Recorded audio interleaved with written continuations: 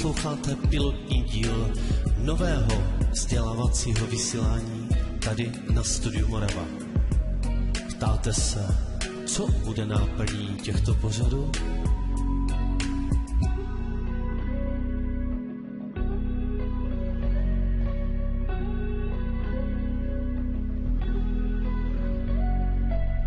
Budeme se dotýkat těch nejožhavějších otázek každé bytosti a života zde i v jiných dimenzích. Po každém tématu bude následovat hluboká afirmace a vedení na zvládnutí a ukotvení dané problematiky.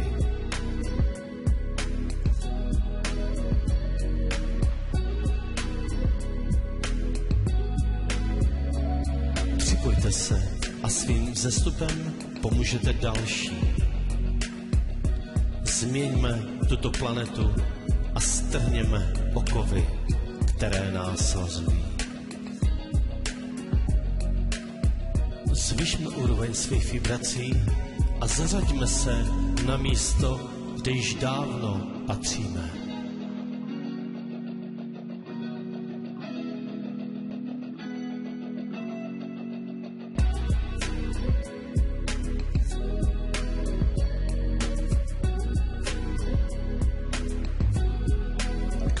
Quo vadis humanitas? Kam kráčíš, lidstvo? A kam až můžeš dojít?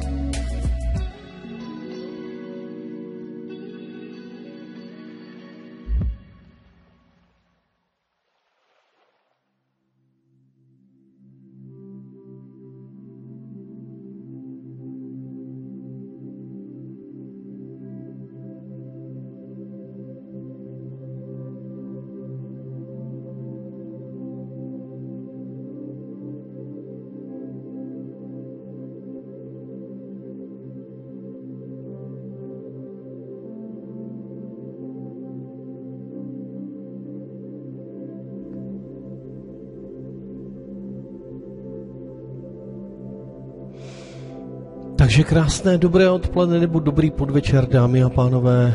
Tady je Studio Morava, tady je Radek a máme tady další z cyklu pořadu Quo Vadis Humanitas. A tentokrát se budeme věnovat eh, dualitě, tomu, v čem žijeme, duální prostor, Ying a Yang, proč a jak, jak vznikl čas a jak vznikl prostor, takže tady je Radek a v této epizodě spolu s Matiasem Destefanem eh, se podíváme, jak vznikl pojem času a prostoru, duality a její síly. Takže já vás zdravím a, a pojďme do toho, pojďme se do toho ponořit, protože eh, tato eh, eh, dualita už je nám hodně blízká, protože v ní žijeme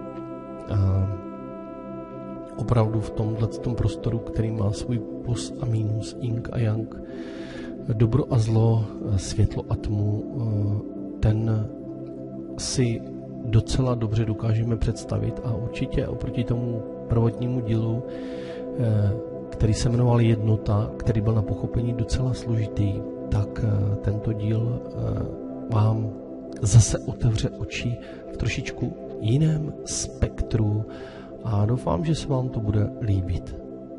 Takže pojďme na to. Matias de Stefano říká, když jsme se jako inové učili o vesmíru a každé dimenzi, tak jsme si mysleli, že dualita je příšerná, protože jsme uvězněni mezi pozitivní a negativní existencí. Ale později jsme si uvědomili, že bez tohoto, bez toho by nemohlo být nic. Jednota je první realita. První a jediná pravda a realita. Z pohledu jednoty vidíme všechno ve vesmíru, ale nic nemůžeme prožívat. Jednota je jako knihovník, který přečetl každou knihu v knihovně, ale nikdy ty zážitky neprožil. Přišel tedy bod, kdy ten knihovník stál před zrcadlem a řekl si, co kdybych vytvořil další realitu, kdybych to všechno mohl prožít. A tak vznikla dualita. Dualita vznikla z otázky, čím se můžu stát. Tou otázkou projde projekce a najednou se vidíte z jiného pohledu. Ta druhá strana vidí jiný způsob, jak se pohybovat realitou. To bytosti se rozdělují na dvě a z toho vzniknou dvě síly. Jedna se jmenuje smysl a druhá je mise.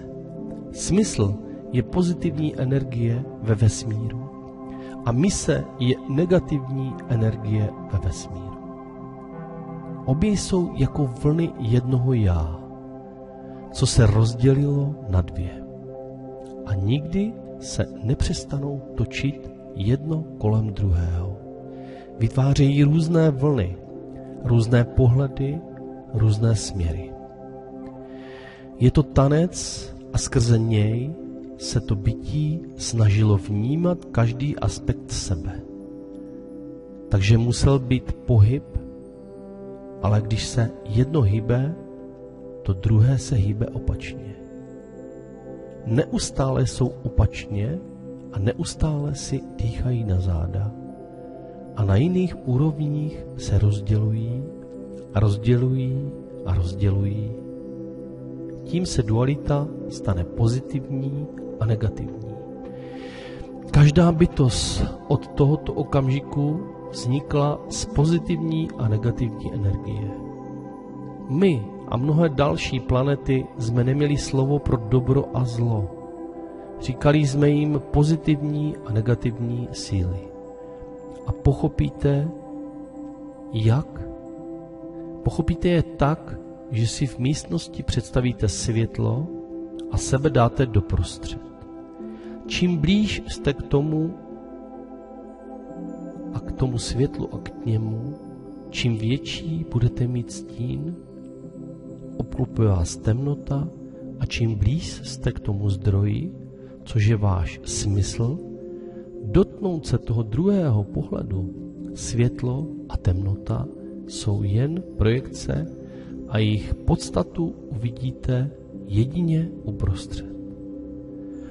Ať projdete světlem nebo tmou, jedno z nich vás pohltí a vy se v, to, vy se v tomto pohledu ztratíte. Tyto dvě síly tvoří veškeré reality, ale pokud se v jedné ztratíte, vesmír vás to zezadu připomene. A tam přichází do hry negativní a špatné energie. Špatné energie jsou pouze vaše stíny, které vám připomínají, že jste sešli z cesty. Když se všechno pokazí, všechno zhroutí a celý vesmír vám říká, že jste mimo, tak ne proto, že by byl špatný. Ta energie mise vás stáhne zpět, protože jste se od sebe vzdálili až příliš. Máte se znovu vystředit. Jediná realita je jednota. Proto v těch pohledech nemůžete zůstat. Nejsou skutečné. Jsou to jen perspektivy z jiné dimenze. Dualita je tedy síla umožňující vytvářet reality, aby se to bytí vidělo jinak. Negativní a pozitivní energie vytáhnou z jednoty obrovskou energii, aby se mohl uskutečnit ten tanec. A v něm ta jednota začne dělat spirálu a proplétá se temnota a světlo, temnota a světlo, což po celém vesmíru tvoří síť vibrací a frekvencí. To znamená, že veškerou realitu tvoří pozitivní a negativní. A neměli byste si zvolit jedno z nich, protože pokud to uděláte, tak se tlačíte k okraji a říkáte si o vlastní záhubu. Ve vesmíru není nic dobré a nic zlé. Je pouze neutralita. A neutralita k té existenci potřebuje obojí. V dualitě je zákon, že všechno se neustále vyvíjí. Nic není statické, nic nezůstává stejné. My jako lidé věříme, že stabilita je dobrá. Máme stabilní práci, partnera, stabilní život. Jsme stabilní, ale je to mimo. Když se stabilizujete, tak vás něco okamžitě vytlačí do nekomfortní zóny, abyste se viděli jinak. Tomu říkáme krize. Ale krize jsou dobré, protože vedou k evoluci. Světlo a temnotou tedy potřebujeme k evoluci. Nemůžeme si jedno vybrat. Rovnováha je právě o tom, že máme stejné množství obou. První, co vzniklo v dualitě, byla projekce smyslu. To bytí stálo na místě, aby se mohlo najít, potřebovalo smysl. A tím smyslem bylo dostat se někam. Tomu říkáme smysl. Je to určitý směr, sám neexistuje. Je to projekce hologramu, ale potřebujeme ho k tvoření a tak vznikl smysl. To pozitivní a vzadu jsme za sebou vytvořili misi. Mise je to, co nás neustále tlačí k tomu smyslu. A ze zadu nás tlačí temnota, to negativní. Záporný náboj má také ženskost. Ženská energie není špatná. Je to lůno, kde se vytváříme svou realitu. Nové reality vznikají ve chvíli, když zavřete oči a jste v temnotě a představujete si každou možnost. Mužská energie je tak kladná. Jakmile znáte možnost, tak si jednu zvolíte a jdete za ní. To je mužská energie. V jádru jsou to tvořivé a destruktivní síly. Takže jak máte ty dvě síly, vesmír začne vlnit nízké a vysoké vibrace a ta energie se přelévá mezi pozitivní a negativní, co začne vytvářet čas. Čas je jedna perspektiva druhé dimenze. Druhá dimenze je čas a prostor. Čas je ta negativní energie a všechny nás drží v bodě, odkud se promítají veškeré prožitky. Všechno je to v jednom bodě a ten bod se odráží v různých časových osách, tím pádem ho to donutí, aby se rozděloval a tvořil prostor. Takže jak se čas začal promítat, prostor v něm promítal každou tu možnost a rozděloval se na to, co nejvíce částí. Proto můžeme zažít veškerý čas a prostor. Věřili jsme, že pokud jsme ve 3D, tak jsme přišli z 2D a předtím z 1D. Ale tak tomu není. Druhá dimenze říká, že čas a prostor jsou pouze projekce reality. Druhá dimenze tedy není za námi, ale obklopuje nás. Jsou to síly, co tvoří každou možnost v každém času a prostoru. Jako imové jsme pochopili, že každá vnější projekce ve vesmíru, že nás temnota tlačí ke světlu a světlo k temnotě, my teď ve 3D často věříme, že všechno venku je špatné a všechno zevnitř je dobré a že nás venkovní svět vytlačuje z komfortní zóny. Jinové věděli, že jsou pouhou projekcí první dimenze, takže tu realitu promítají. Vše, co máme venku, máme i vevnitř. Postupem času si uvědomíme, že to tak funguje. Máme dvě ruce, jednou rukou přijímáme, druhou dáváme. Všechno venkovní přijímáme jako energii, kterou v sobě vnímáme a dáváme jí. Tohle je negativní, jedna ruka, a tohle je to pozitivní, druhá ruka. My jsme viděli, že žádná vnější projekce není silnější než ta vnitřní, takže jsme začali se soustředit pouze na ty vnitřní. Máme negativní a pozitivní uvědomování, že existence není něco, co jen promíte, promítne ven. Je to něco, abyste mohli vytvořit a být v rovnováze, musí se stát věčností. Musíte se osvobodit od své perspektivy a čím bezpodmínečnou láskou. Lidé o ní mluví neustále a nikdo neví, co to znamená. Bezpodmínečně nemá podmínku. Máte-li podmínku, nemůžete milovat. První podmínkou bývá ta projekce. Já jsem tady a ty jsi tam. To je podmínka. Nemůžete milovat, protože nevidíte, že jste to vy z jiné perspektivy. Bezpodmínečná láska je věčnost. Láska je vlna času a prostoru. Není to milování druhých, jak se to občas chápe. Myslíme si, že jedině tak budeme v rovnováze, ale tak to není. Tím se zaměřujeme na své okolí. Jediná bezpodmínečná láska je ta, kterou máte k sobě, protože to znamená, že milujete každou jinou projekci sebe. O dualitě jsme se učili, že žijeme v každém čase a v každém prostoru a když milujete sebe, tak se milujete všude. A jedna ta projekce může vyslat vlnu, která se vrátí až na začátek, stoupí do rovnováhy a v posledních dvou tisíci letech se naučíme, že jedním z nástrojů bez, bezpodmínečné lásky je soucit. A soucit není litovat někoho. V tom se dělá chyba. Soucit znamená mít cit pro něco. Tak to slovo vzniklo. Takže musíte mít cit pro tvoření. Musíte ho sdílet. Soucit je sdílení radosti stvoření. Křesťanství učí, že soucit znamená pomáhat druhým.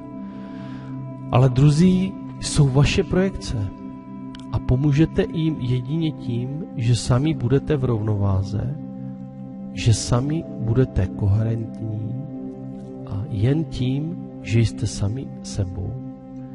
Ten cit sdílíte s ostatními.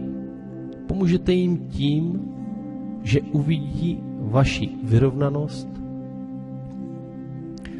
Soucit přirovnávám ke stromům. Stromy jsou stromy a nezvedají ty, které padly na zem. Nepomáhají jim nahoru. Stromy se drží a když jeden spadne, tak tu energii sdílejí, aby to mohli transformovat. Sou, soucit tedy znamená sdílet cit pro tvoření, být vědomý a sdílet to, jak se cítíte, jako máte rovnováhu. Je to dualita tvoření, ne oddělenosti. A to je jedna z největších lekcí o dualitě. Dualita není špatná, dualita je o tvoření. Dualita je jediný způsob, jak vytvářet nové reality a jak se můžeme zakotvit mezi častem a prostorem. Když jste součástí třetí dimenze, tak vidíte ještě třetí možnost. A pokud se na ní zaměříte, tak můžete zapomenout na dualitu a začnete si myslet, že dualita je něco nebezpečného, co vás nechce pustit dopředu. Tam se druhá dimenze rozdělí do třetí dimenze na budoucnost, přítomnost a minulost. Tisíce let se učilo, že tento život je náš jediný a že na konci půjdeme do nebe anebo do pekla. Tím jsme v podstatě říkali, že dualita je špatná. Že se máme vyhnout jednou z těch dvou možností. Učili jsme se, že se z této reality dostaneme jedině světlem. Ale to není duchovní. Je to biologické. Na této planetě máme světlo 12 hodin denně a temnota nám vždycky přišla zlá, protože nás mohla napadnout zvířata a byli jsme nechráněni. Světlo bylo dobré, protože jsme viděli a mohli se bránit. A tak jsme si vytvořili představu, že temnota je zlá a světlo je dobré. Snažili jsme se přežít. Nebe jsme samozřejmě spojili se světlem, protože světlo je dobré a temnotou jsme považovali za zlou. To je biologické, ne duchovno. A tím jsme vesmír rozděleni na dva. Jeden dobrý, jeden zlý. A vždycky jsme chtěli být v tom dobrém a odstraňovali ten zlý. A něco se stalo. Tak jsme byli všichni spojeni s dualitou a došlo k rozdělení. Muži šli za světlem ze strany vědomosti a ženy v jeskyních prováděly obřady a pracovali na moudrosti. Vědomosti a mou, vědomost a moudrost rozdělilo se to na několik pohledů na jednu realitu. A pokud je světlo dobré, tak jsou muži dobří, a pokud je temnota zlá, tak musí být zlé všechny ženy. U těch nočních obřadů, takže se jim lidstvo rozdělilo na dobré a zlé, a muže a ženy. Odpojili jsme se od vesmíru a zajímalo nás jen přežití v tomto životě. Dualita znamená, že každý člověk v našem životě je zrcadlo nás samotných. Vesmír je velké zrcadlo, které se rozbilo na střípky a každý z nich vám v životě něco říká. Proto neposuzujte druhé, ale jen to, co nám v sobě, tak můžete dualitou poznat sami sebe.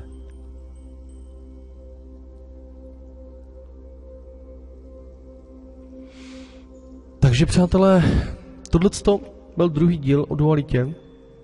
A ta poslední věta, co máte v sobě, tak můžete dualitou poznat sami sebe. Hmm.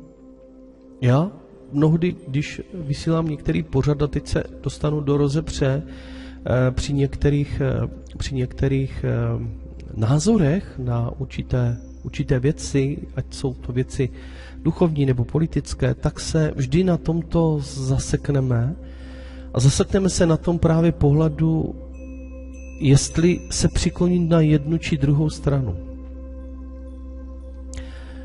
A tento pohled právě mi hodně otevřel oči v tom, že vždy, ať je to jakákoliv strana, tak v dualitě, v duálním světě, v kterém se právě nacházíme, protože my tady právě dualitou žijeme, i když si říkáme, že žijeme ve třetí dimenzi, ale o třetí dimenzi se budeme bavit až příště a my řešíme tuto otázku, tuto volbu, jakou cestou jít. Jestli jít cestou dobra nebo zla a, a ve spoustu duchovní literatury právě se dočítáme o té cestě dobra o té cestě dobra, která vždycky převáží e, to zlo a zahubí ho. A potom si řekneme, jak bez toho zla máme poznat to dobro. Jak bez toho dobra máme poznat zlo. A tady v tomto už jasně vidíme, že když máme určité příklady, když eh, si třeba našim dětem čteme pohádky, kde bojuje dobro proti zlu, kde vždycky to dobro to zlo porazí, tak eh, z toho pohledu bájí a všeho, eh, z toho, jak se chovat, tak vždycky je to v pořádku, protože nemůžeme říct, že je lepší to dobro nebo to zlo, protože jsou to dva póly, dvě strany jedné mince. A dobro bez zla nemůže existovat, tak je zlo bez dobra. A pochopení tohoto, tohoto stavu, tohoto děje je základním myšlenkou, základním pilířem, jak se posunout. Protože chápat to, že když něco děláme pro svoji rodinu, pro svoji, pro svoji vlast nebo pro svůj, eh, eh, pro svůj, já nevím, rod, národ, eh, rasu, tak eh, z pohledu toho druhého rodu, toho druhého národu, té druhé rasy, to může být něco zlého. Vzpomněme si na, eh, na to, když, byla koloni, když byly kolonizované Spojené státy, když původní obyvatelé indiáni eh, přicházeli v dobru těm španělům a, a prostě a teďka samozřejmě eh, nevědomky toho, co se bude dít, eh, to bylo takové zvědavé přijetí a všechno a vlastně spojetí těch Španěl, Španělů, později Angličanů, bylo, bylo to všechno dobré, protože oni přicházeli s novým trhem, s novými možnostmi, s novým, s novým odbytištěm, s novými zdroji pro svoji domovinu, pro svůj vlast. Ale z pohledu těch původních eh, obyvatel to bylo rizí zlo, protože oni o to všechno přicházeli. To je ta dualita. My něco získáme, pokud to získáme na úkor někoho, tak ten druhý to bude vnímat jako negativní. Vždy to tak bylo a vždy to tak bude, protože je to zákon duality. Vždy tento neuhas, neuhasitelný boj mezi, mezi duálními systémy, mezi tím yin-yang, dobro, zlo, tma, světlo, kterým přikládáme určité eh, prostě určité vlastnosti, podle kterých eh, je potom hodnotíme, tak eh, už tento princip je nepochopením právě toho, co se kolem nás děje. Uh, Matias Stefano mluvil o tom, o té noci a, o noci a dnu a uh, o tom, jak v tom světle všechno bylo vidět. A v té tmě nás mohly napadnout čelmy a zvířata. A mě přitom napadla jedna věc jasně, a jak si lidé eh, zvolili ten den za světlo a noc za tmu a něco špatného. Mně okamžitě napadlo to, že člověk uléhá v noci k spánku, který je dobrý, protože ho posiluje, protože uh, regeneruje tělo, uh, všechno, všechno se vrací, biorytmy se srovnávají a tělo si odpočíne a dostatek spánku znamená posílení a nový, novou možnost vykonávat nějakou práci a novou činnost. A kdo rád eh, třeba pracuje, tak ví, že eh, vždycky v noci se to dělá dobře, nebo v noci, když se díváme na hvězdy, tak eh, bychom na ně přes to světlo neviděli. Přes to světlo, které nás oslní, nevidíme ty vzdálené hvězdy. Je to dobré nebo je to zlé? Kdybychom to vzali jenom podle toho principu, tak bychom vůbec žádné hvězdy nikdy neviděli, protože bychom noc považovali za něco špatného, temného. Nevycházeli bychom ven, že bychom to měli spojené s nějakým temným, zlým aspektem. A tady vidíme, že to vyvážení je na místě, je to těžký proces a není vůbec jednoduchý. Není vůbec jednoduché se v tomhle eh, vyznat a proto si myslím, že v dalších dílech, kde chápání duality jako takové a přechodu do třetí dimenze z té druhé, z té duality, kde přibude další aspekt a kde ten další aspekt zase eh, nám rozšíří to naše zorné pole v rozhodování, v úvahách, které, z kterých můžeme na tohle, tenhle ten systém, ten dokonalý systém, který je tady vytvořen kolem nás a v kterého jsme součástí, tak tento systém nám to umožní rozšířit, umožní nám ho líp pochopit a e, s přibývajícími dalšími díly to bude stále větší a větší dobrodružství, protože všechny tyto aspekty začnou do sebe víc a víc zapadat a nám budou ty jednotlivé kosmické zákony a to, jak je tvořen náš svět, z čeho a kam směřujeme, proč a co nás v tom provází, co nás ovlivňuje, tak to nám bude možná již brzy víc jasné. A to je, přátelé, taky ten posun a taky možnost, jak postoupit někam dál, prožívat jiné věci v jiných kvalitách a jestli to je dobré, nebo zlé, nebo horší, nebo lepší, eh, jestli je to temnota nebo světlo, to už nechám na vašich úvahách. A na to, co řeknete tomu, až se podíváte na celý tento problém z pohledu na třetí dimenzi, která bude příště a můžete se těšit, že to bude stále větší a větší jízda. Tady je Radek, já se s vámi loučím a v příštím díle se potkáme opět s Matiasem de Stefanem a budeme se bavit o 3D, o tom, co nás v této sféře čeká. Tak se těšte, přátelé.